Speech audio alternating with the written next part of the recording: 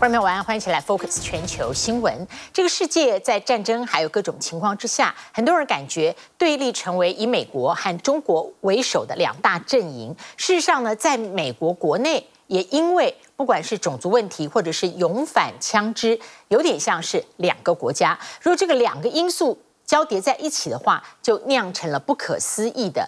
悲剧，密苏里州这个离谱的枪案，受害的是一个十六岁的少年人，妈妈叫他去接双胞胎的弟弟回家，他拿着地址到母亲的朋友家，但是呢看错了，走到另外一条街，按了门铃之后站在门口，一开门，白人屋主就朝他轰了两枪，第一枪击中十六岁少年的脑袋，第二枪。补上了右手背，送医之后幸运捡回一命。八十四岁的白人屋主说法是，少年强行闯入，试图闯进，他太害怕，正当防卫。但是少年的说法是他真的按完门铃，站在门口。那么事件已经引爆了社区的愤怒，检方在十七号对这个白人屋主提起两项重罪起诉。民众走上街头，不分肤色，高喊要司法给他们一个公道。As a mother of three children, this enrages me. We are not just angry when our babies get shot. We are angry every day because our bodies are hurting, our babies are hurting. 密苏里州堪萨斯市近期出现抗议潮，为一起枪击案请命。事发在十三号晚间十点多，十六岁少年雅尔奉母亲之命到朋友住处接两个双胞胎弟弟回家，但他看错了地址，来到下一个街口的一百一十五号。当少年按门铃后，八十四岁的白人屋主莱斯特持三十二口径左轮手枪朝他开了两枪。分别击中头部和右手臂。There is a thorough investigation underway now. There will be a thorough review in the prosecutor's office. We will make sure we do all we can to be fair, to make sure that we're as expeditious as possible. 白人屋主被拘捕后不到两个小时就获得释放，引发社区居民不满。I realize that justice doesn't come overnight, but the fact that there's a kid in the hospital and everything I read says not even a charge has been done. That concerns me. Just hold this man accountable. And um, you see that the community came out and supported. We are a community. If one of our, kill, our children is shot, killed, we all are here. 警方解释是为了取得被害者的陈述，评估屋主是否会被起诉，才会先放人。但被害家属无法接受。To have black people ring a doorbell and then have a white citizen shoot him in the head first and then shoot him a second time. I mean, there is no way you can justify this. That right there is a lot of hate. Yeah. This right here is a lot of love. Yeah. 相隔一条街，邻居们对白人屋主莱斯特的做法表达强烈反感。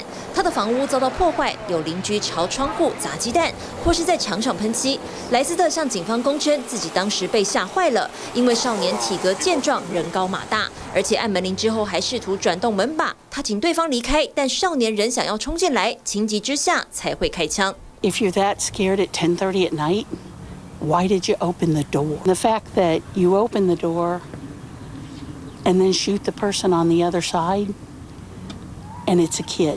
当个称职的哥哥接弟弟们回家，却遭到枪击。十六岁的雅尔是优等生，在高中军乐队担任队长，希望毕业后能进入工程领域顶尖的德州 A&M 大学攻读化学工程。他奇迹似捡回一命，已经在十六号出院返家休养。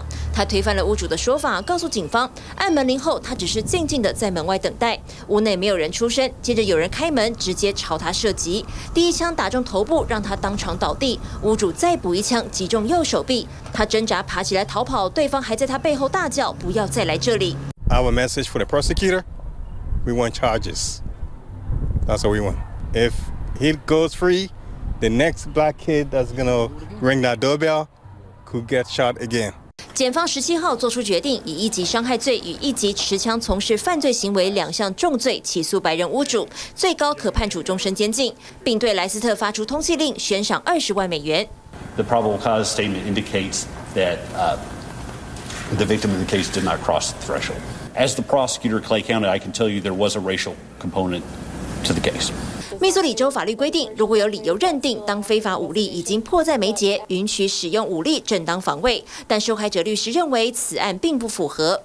because there has been no conversation, not from the suspect, not from the victim, and not from law enforcement, that Ralph Yarrow, uh, Yarrow at 13, at 16 years old, ever posed a threat uh, to this shooter.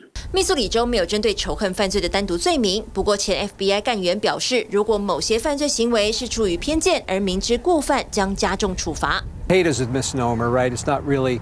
Um, it, hate is used to just categorize a bias.